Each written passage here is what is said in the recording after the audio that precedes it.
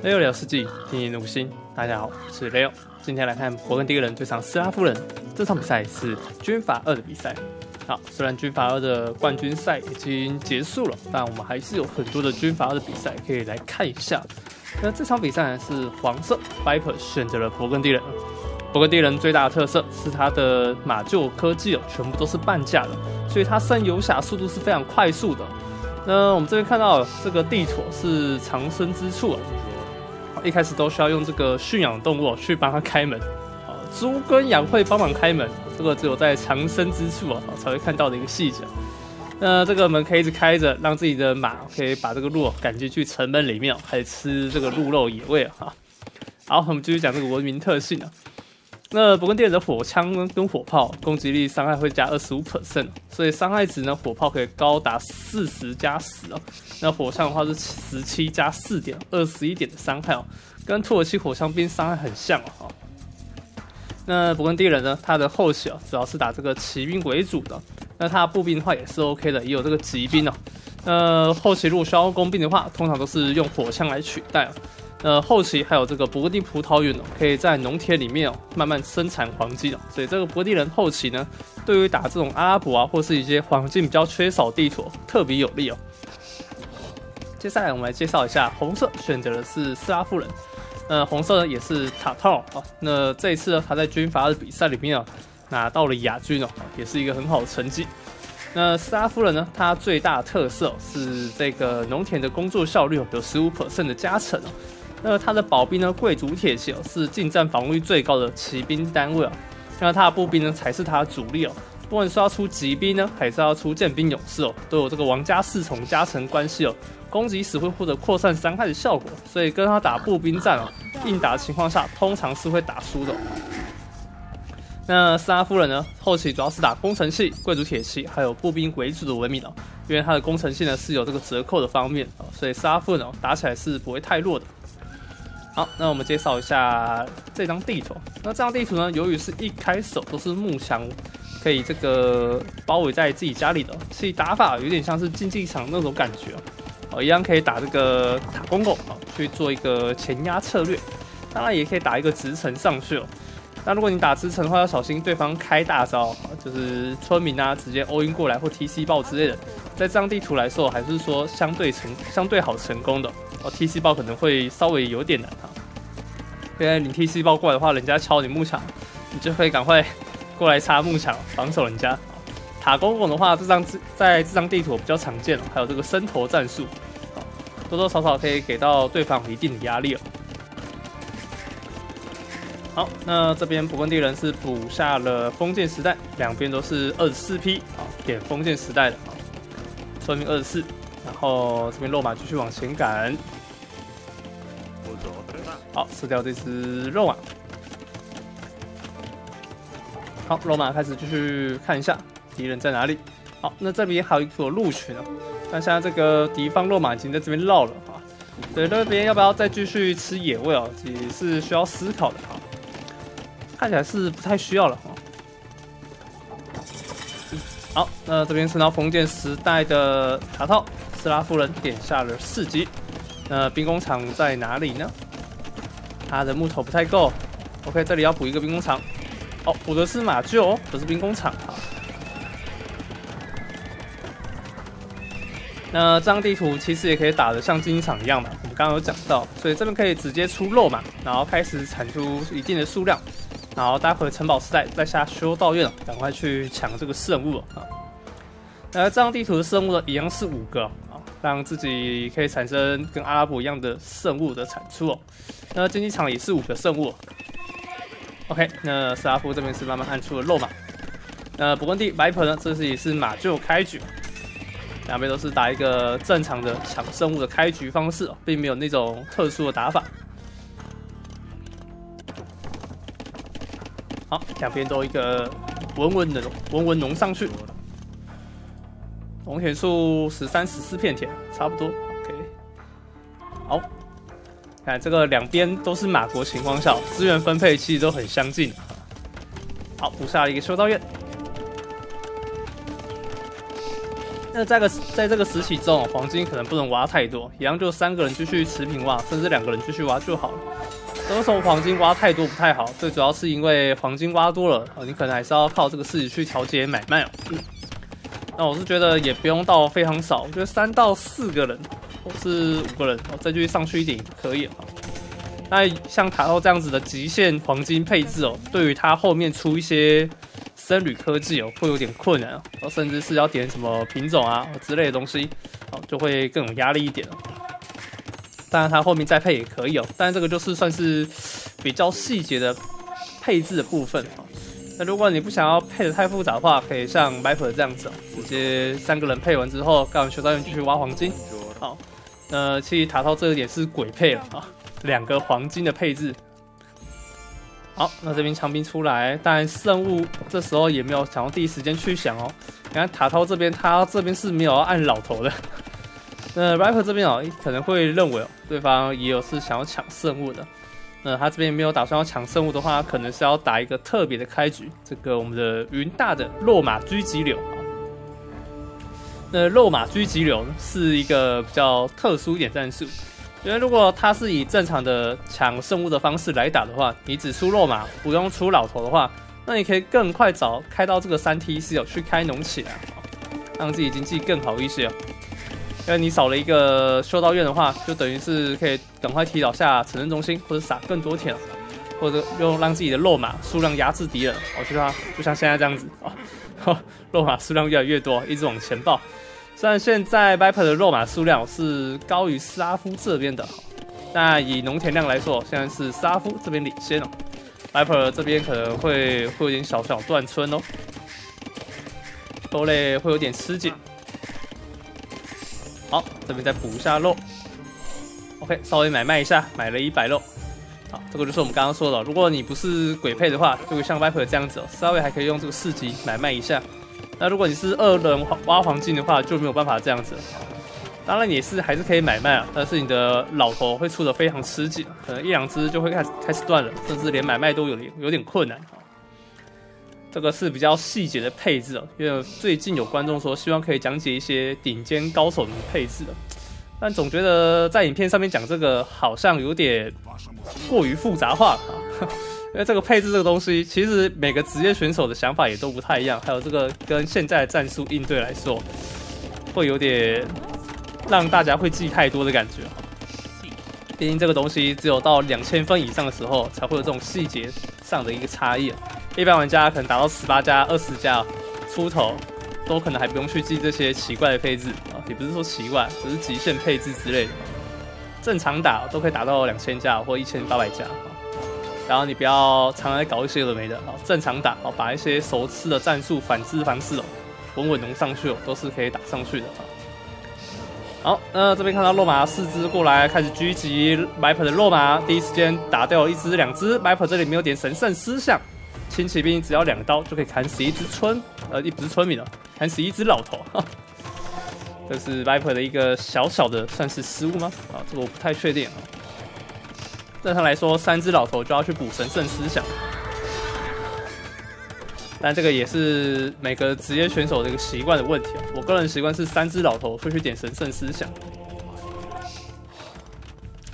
对这个配置上的细节上的差异哦，我个人认为是不用太去烦恼的问题，反而是把这个基本功练好，就是前期该怎么应对对方的快攻啊，后期大后期要怎么打哦，这类的东西先学好，可能会去比后期配置啊，或者是一些上城堡的一些细节配置会更重要一点。但是如果你的资源是完全爆炸那种，木头太多啊，破千啊，肉破千那种，哦，那可能就是。基本功的这个配置哦，要练得更好一点。那我建议一个大家哦，去练习配置的方法，就是让自己的木头不要超过三百木头。只要一到过超过三百木头，赶快把一堆伐木工拿去撒农田就好了。这样你的经济哦就不会太差，然后你的出来村民就会补木头跟黄金啊、石头这类资源。就是我给阿神的一个建议哦。自从阿神用这个方式之后，哇，他的实力大幅提升哦。但最近阿神好像没有在打世界，他现在在日本旅游中。我有看到他的那个 Instagram，他的 IG 上正在晒那个他旅游的照片。看来他是最近了，比较忙，没有时间可以练世纪帝国。但是这个建议有看阿神有这个注重这个木头的配置之后，他的资源马爆就会爆得更轻松一点。所以如果大家真的要往配置的方向去努力的话，最简单的一个记的方法就是三百木头不超过，全撒农田，然后金跟石头稍微补一下啊。你的开农方式哦就会更稳定一点，也会更好爆出你想要的这个骑兵团。好，那目前看到 Viper 的村民数量是七十七村对上斯拉夫六十八村，那没想到这边落马狙击流不减生物的一个流程哦，反而让他哦村民数还是稍微落后的。这也是 Viper 一个很恶心的地方，他明明是打有老头开局减生物的一个流程，但是村民数却还是领先对手。而且落马数量也不逊于逊逊于对手，手推车至少还补下了啊！这里稍微围一下。好，但罗马这边来到了二十只的数量越来越多了。这边如果开战，不知道拜克打不打得赢，因为这里完全没有升攻防。但勃艮第这个时候补下了重装骑士的升级，重装骑士一补下去，待会正面就会有点难打喽。但这一波交换起来，Viper 的罗马是。基本上是大败了，后面的两只老头也是被打破冲了进去。好，这边罗马开始窜到城中心里，塔套这一波打得非常漂亮，这一波进去多多少少可以乱到 Viper 的经济哦。好，赶快去补这个房子，这里还有个洞，这里有房洞，赶快补。好，但这个时候重装骑士已经 up 上去了。重装骑士的优点哦，血量多，低攻击力加二，比一般骑士哦更优秀一点。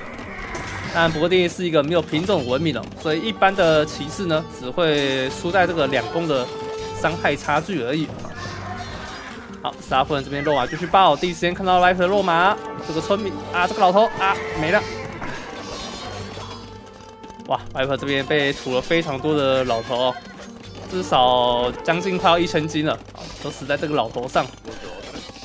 好，这一波溜进去，life 的村民数降到了只剩八十五村左右。打到这边数村民数来到了八十三村，好，开始前压工程器跟步兵喽，前压重装长枪兵去反制重装骑士，但这里还是 Viper 优势哦，因为重装骑士的伤害实在太高了，解长枪兵也是解的很快的，因为一支长枪兵是五十五滴血，通常只要打个五下左右就可以死一只长枪兵了。好，这边快速解掉。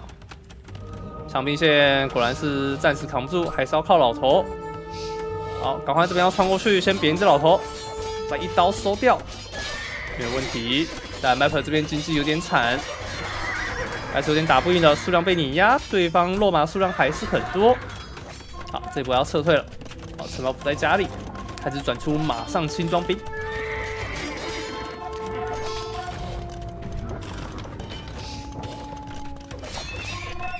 好，这边马就开始补上。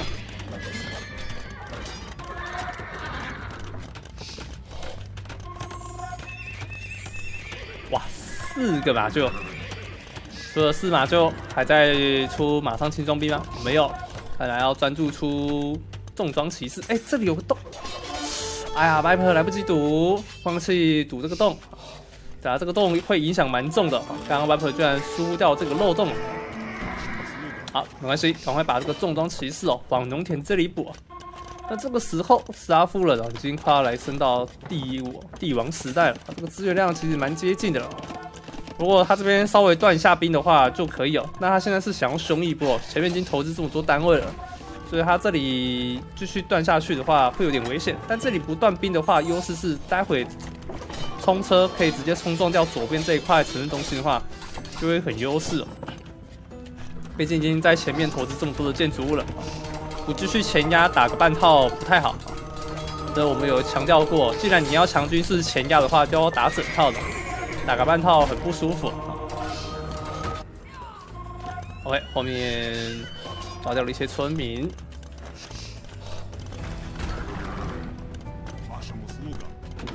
老头。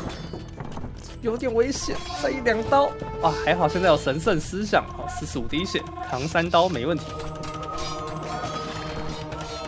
好，这波重装骑士不敢上去硬扛，因为下方这边是高地跟低地的一个上下坡的地方哦。啊，龙打打自己会变劣势。好，这边稍微往回拉扯一下。好，Viper 这边补下了一级色，当然查涛果然第一时间点下帝王时代，足够兵力压制到点家之后，突然转一个升级 up。好，那家里补了一些骑士压制回去，想要把左边的木石墙给补起来。好，这一波还是要继续前压吗？看起来他没有打算要放弃。查涛这一波进去冲进去搓了一波，重装骑士数量也是倒地了一些，重装骑士加上骑兵还有肉马的组合。打爆了 Miper 这边大量的重装骑士啊！Viper 这边重装骑士虽然还是以少量数量险胜，但最后呢，自己损失的是将近快要二十几只的骑士啊！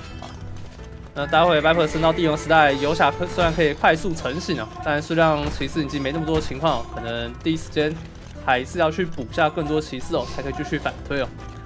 那斯拉夫人现在有这个生时代的优势。应该也不会轻易的轻易的让 Viper 这边反打回去了。那待会 Viper 上帝龙时代哦，可以马上转出火枪哦，去应对这些的步兵单位，骑兵也可以稍微反制一下。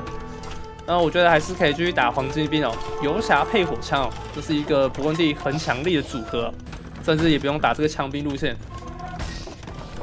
当然 Viper 可能会顾虑到现在自己的黄金哦稍微被控，剩下八个人在挖黄金而已，黄金其实已经不多了啊。虽然后面还是有，后面还有一块黄金在这里。哦，上面这边也在开打。这边用前方的军队去拖延时间，让后方的大石墙可以给围好。好，前面这里还有个洞，补一下。OK，补完这个洞，BIPER 应该是没有办法过去了。哇，这个就是高手，上下两边都在开打，很忙很忙。好，这时候沙夫点下了银冠技术螺丝堡垒。螺丝堡垒这个科技可以让一些城堡的这个石头造价转换成木头，所以让沙夫人后期更好转出这个贵族铁骑啊。原来城堡兵很难用的原因哦，最主要是因为城堡很难量产出来，产能方面哦还是会逊色于这个马厩单位哦，或者是这个军营之类的。所以打宝兵呢，最重要的一个问题哦，就是城堡是非常难量产的一个东西。但是脚底下螺丝堡垒的话，那这个问题呢就可以轻松化解。多投资一些城堡就不会太伤自己的经济哦。反正石头需求量比较低一点，就跟法兰克一样。好，那这边不问地点下了步兵的铠甲，还点下护卫技术，最后还是要转出枪兵哦。黄金数量有点不太多。整出了一些马上轻装兵，游侠科技升级还需要一些肉类，六百五十肉，加上三百五十黄金啊，就可以 up 上去了。但是他这边还是想要先点化学，先升级一下火枪科技。好，城堡这里建立起来，巨型头司机要铲吗？好，下方已经开始铲了。好，但斯拉夫这里是没有。火炮的，但伯温蒂也是有火炮的。对，Viper 这边想要反击回去，其实也很简单啊。往上转出火炮，哎，这边骑士溜进来，啊，好，赶快让这个重装骑重装长枪兵到城堡里面，然后把人放出来，在前线防守。这波防守有机会修得起来哦。这个底下村民在敲，一直修理一直爽，把这个血量给拉起来了。哇，这波冲进去，骑士全部损失殆尽。但是前方有两根城堡，就去给压力，但是 Viper 也没有让对方过得非常好。左边还补下了一个巨型头 C，开始拆除左边的城堡。要同时顾两根城堡是不太可能了。好，一个人顾一根就有点麻烦了，顾两根太太太忙了，太忙了。好，这一根继续顾，左边这根放弃。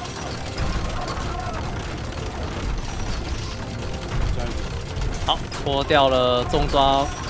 重型巨型投石机，后方的骑士也被家里斯拉夫的骑兵给收掉了。艾普这一波的出去啊，及骚扰结束了。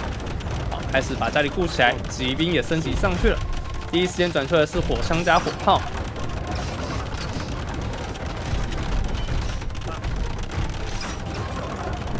好，这边骑兵钢击力还没有升上去，防御也是啊。啊，没有关系。现在不问地这边转骑兵哦，只是要稍微当个肉盾打。它的最重要的主要输出错是火枪兵哦，十七加四点伤害，而且打步兵还有额外增伤，射下很痛。哦，先子弹慢慢飞，火炮赶快往前拉。好，左边开始拆除巨型头 C，来回后面拉的村民非常多，但是还不够，十六只而已。但还行，有点下砖瓦技术哦，防御率还行，还不会到非常薄弱。好，火炮第一时间剪掉了一台巨头，正面的枪兵想要防守，但后面的火枪也在努力输出当中。这一波交换，斯拉夫可能会亏，因为正面的枪兵数量很多，后面还有火枪在偷偷帮射。这根城堡也是努力输出当中。虽然骑兵正面互打的话，斯拉夫人是有优势，但是加上火枪的跟城堡伤害，必然是会打输的状态哦。后方的巨型头 C 慢慢拆除，火炮在哪里？在后面发呆，可以用巨型头 C 稍微反制。OK，最后收掉最后一台巨型头 C，终于把这块金给抢回来了。那接下来呢，就是 Viper 的主动攻击时间了。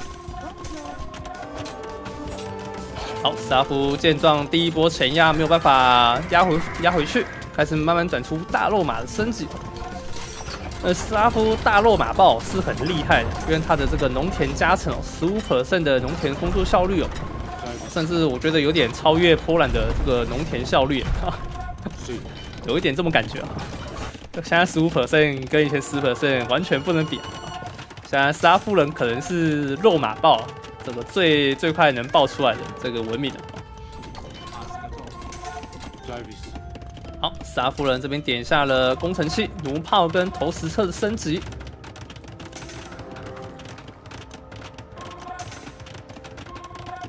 那弩炮这个东西还有投石车，遇到火炮都会很难处理，而且 Viper 这边的火炮呢，还是有额外增伤的效果。打中型弩炮的话，基本上是一发就可以打到打掉一台巨型。不是巨型重型弩炮，好，好火枪过来。呃，投石机的部分呢，主要是针对后方的火枪哦。好，这边落马过来，看到火枪要上去抓掉吗？后方巨型头 C 被包起来防守，想要去抓掉巨头，但没有机会。这一波的军队往前压，沙夫人还是做了一些努力。好，落马溜了过去。家里要稍微围一下吗？好，直接在前面补了非常多的射电场，还有这个军营。好，艾普也决定要来专注打右边战场，左边战场也要全面封锁起来。但是阿夫人在后面补了一个工程器制造所，还有军营，想来打一个多线。好，军营投石机正面开拆。但这边。沙夫人还没有办法可以去反击啊！那弩炮血量是五十五滴血。好，那再这这里就来看弩炮的防守效果有没有比较好呢？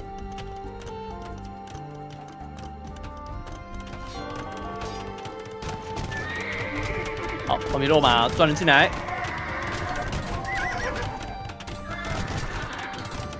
好，这一波包夹落马战术有料，后面落马没有去骚扰迈克家里，反而是回来要来包杀这一坨巨头。这头这一团巨头被拆掉的话迈克的攻势就会被减缓很多。但很可惜，这一坨攻势已经被正面的枪兵给解决掉了。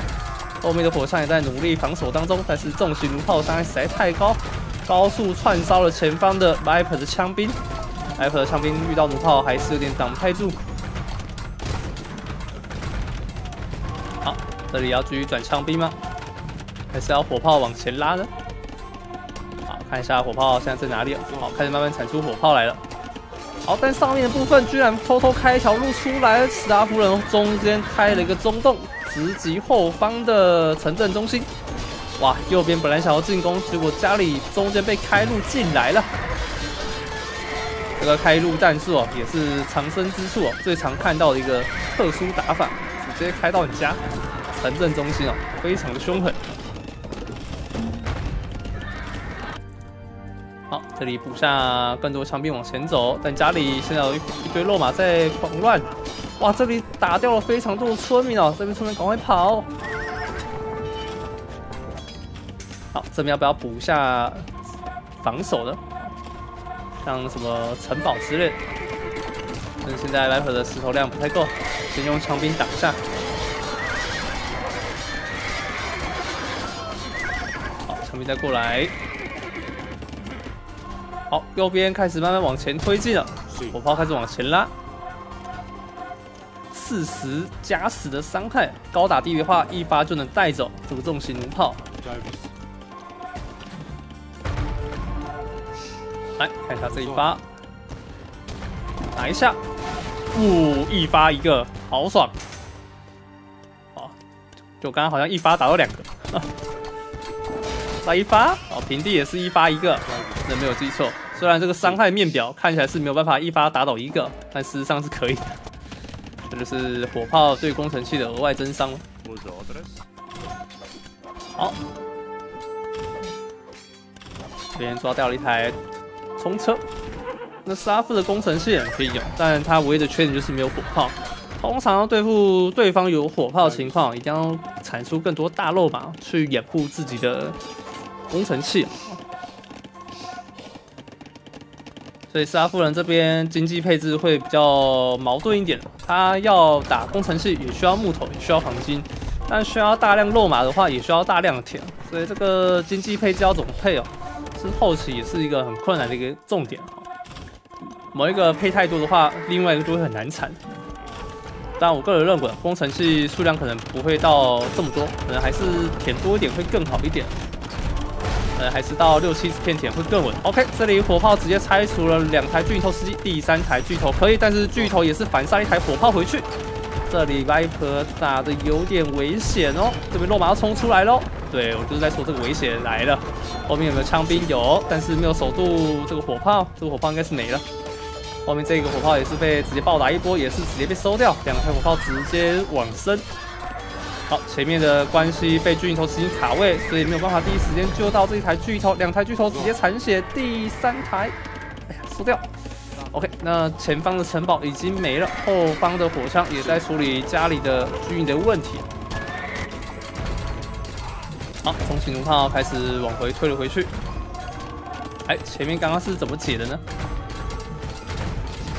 哎，右边的火炮突然被解掉了。突然扒图一下，看一下右右边这里是怎么解掉的。我有点好奇。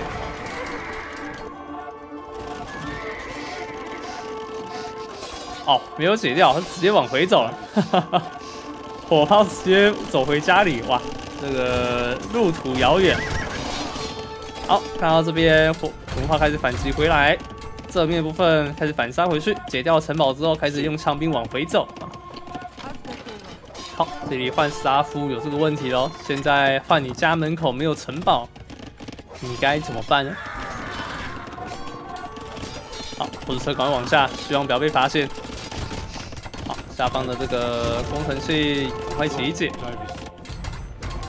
好，右边大量的建筑物也是阻挡了斯拉夫的工程路线。好，这波斯拉夫人点下了重型大冲车的升级啊。这个叫做重型冲车。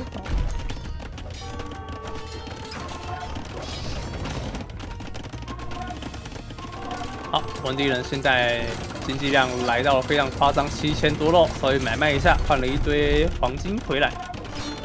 当然，这边黄金还是会继续往上跳，这就是勃艮第人很可怕的地方。后期黄金还在继续延长当中。所以这个越打越后期哦，对斯拉夫人经济哦是一个巨大的损害哦。所以现在卡套应该是很想要赶快拿下这场比赛啊，不然他会黄金越打越少，但是 Viper 是会越打越多的文明。这一点哦，就跟越南一样，越南在这个后期来说也是很可怕，因为它伐木工也可以产生黄金哦。OK。前方枪兵想要缩，等这边修了回来。狙击手在后面，火枪这边开射，这边火枪弹道非常漂亮，也掉了一些步兵单位。OK，但下方的弩炮大军已经无视了 Viper 的正面部队，直接冲过来了。而且右边的建筑也不管，这边要靠大虫车处理。但弩炮想要继续往前推进。但家里已经快要八 B Q 的一个情况，投石车也是也是岌岌可危。现在需要更多的大肉马去解掉这些火炮单位哦。好，拖车向前，往前想要砸火枪，但是第一时间被火枪给点射点掉了。OK，这边杀夫人黄金来到剩下五百块，Viper 这边只剩一百，但基础资源 Viper 还有四千多。啊，这一坨弩炮用落马去解很 OK，我们第一落马血量虽然少了一点，但还是可以用。但是阿芬也是早有准备，火雾一碰到枪兵直接融化，是大落马遇到枪兵的画面。我们第一大落马真的是偏弱一点点，差差了二十滴，还是差蛮多的。好，这边大罗马再次上前，想要解掉火炮。火炮这边第一时间被解掉了第一台、第二台、第三台，有机会吗？后面又补下了四只大罗马过来，想要去瓦解后方的火炮阵。火炮一没有的话，自己的工程星就可以登场。所以这边第一时间主要还是要打这个火炮啊。哦，这边戳掉了一台巨型投石机，结果自己的罗马也是全部送光了。好，但下方继续给压力，大冲车也已经来了。现在 Viper 的大罗马也是想要上前去解掉这一坨冲车，加上弩炮的压力，但压力实在是太大，枪兵也是过来帮忙解一下。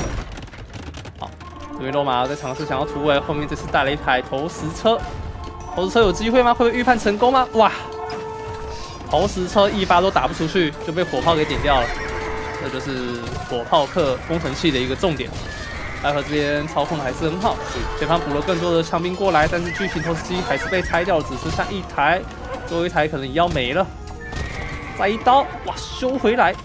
好，下方的弩炮阵呢也是被逼退回去了，因为前方的冲车呢已经被解光了。